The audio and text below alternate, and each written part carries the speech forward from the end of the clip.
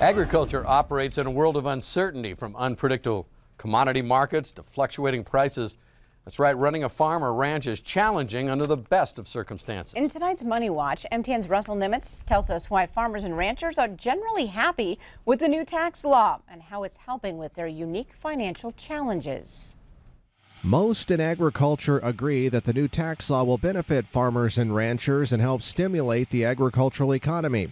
Amy Iverson is a certified public accountant for Wipfli and says increasing the popular Section 179 small business expensing to a million dollars is one of the highlights. As your farmers and ranchers are buying their equipment and buying stuff for their um, operations, they can turn around and expense that immediately so they can keep that cash in their pocket. They don't have to depreciate it out over the, seven years that it used to be for some of this farm equipment.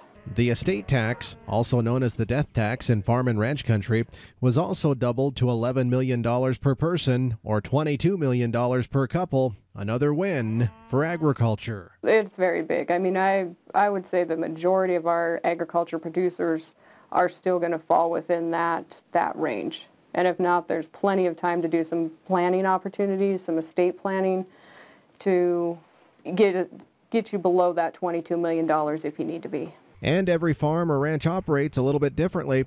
That's why she says it's so important that producers visit with their own accountants about how the new tax law will affect them. You need to talk to your tax professional and you need to have that conversation with them of, you know, your long-term goals, your short-term goals, and you know what this tax bill really means to you. And should you restructure should you not restructure you know can you afford to hire somebody or not? It really is you need to talk to a professional. They say in life only two things are certain death and taxes. Well in a crazy twist of irony if you will it could actually be taxes this time that keep our family farms and ranches from dying. Russell nemetz mtn news billing all right, thanks, Russell.